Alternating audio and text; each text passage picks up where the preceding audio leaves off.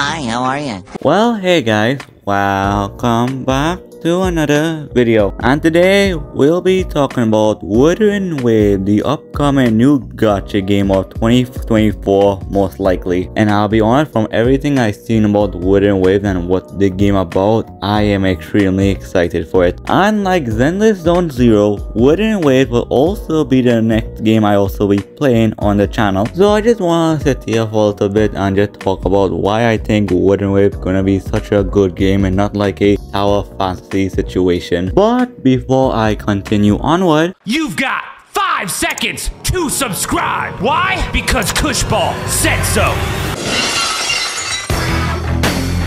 Alright, so what is Wuthering Wave exactly? Because one, there's so much hype around it. It's a post-apocalyptic open-world game that you can explore with gacha aspects as well, where you pull characters similar to Genshin Impact. And there are a lot of interesting stuff about Wuthering Wave, like for one, with a high skill cap, so where you can't just get away with button mashing, so where you have to do perfect dodges, avoid enemy attack. But one thing about this, since it's a gacha game, you would think you have to spend money, but no, this game is a pure skill and basically you can basically beat the game with the standard characters which is very nice. And then obviously if you have like 5 stars it can make it easier but at the same time it's not needed. But also I think the most interesting thing about Wuthering Wave the fact that every enemy you face and defeat you can actually turn into or more like they can help you assist you. Which for me is honestly so exciting because for when I looked at some of these designs and there is a lot of peak designs. Like they just look amazing. Like with the story I don't really have an idea on the story as yet.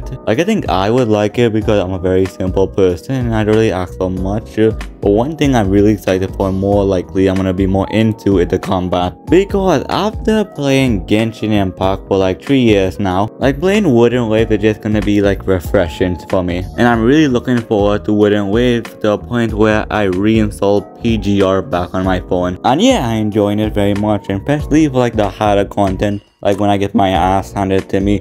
I don't really get as mad when I get mad at BS mechanic in Genshin Impact where all the bosses run from you, have massive HP pools, freaking take as hell just for the sake of stalling time, no interesting things, there's no interesting mechanic, they're just stalling you. So playing PGR again was pretty nice and really got me more hype for Wuthering Waves. But do I think it's gonna be a Genshin killer?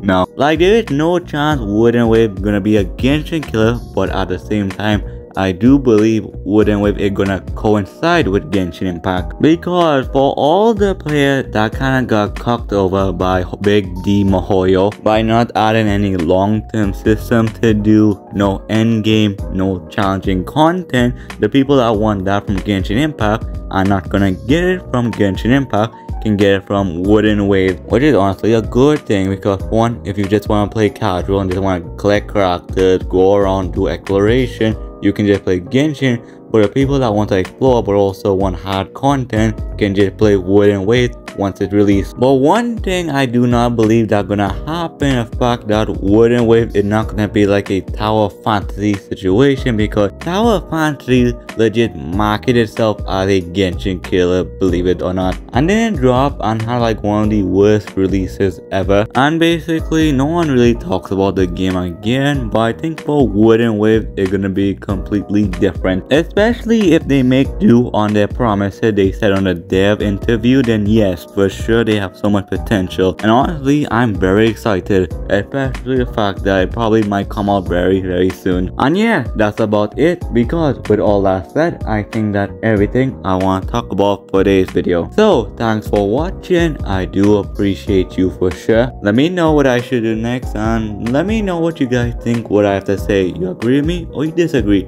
Let me know down below because at the end of the day I'm not gonna kill you. Meh I probably might kill you, but at the same time, still comment. Anyways, cause I love that stuff. But anyway, final thought is, honestly, I am very excited for Wuthering Wave. I think this game has so much potential. Because for one, if this game is a success, it shows if you have enough passion, even though it might be an indie game or a big company, if you did put time and effort into a game, the product that people like, people will play it and people will enjoy it. But that's just an opinion, my opinion.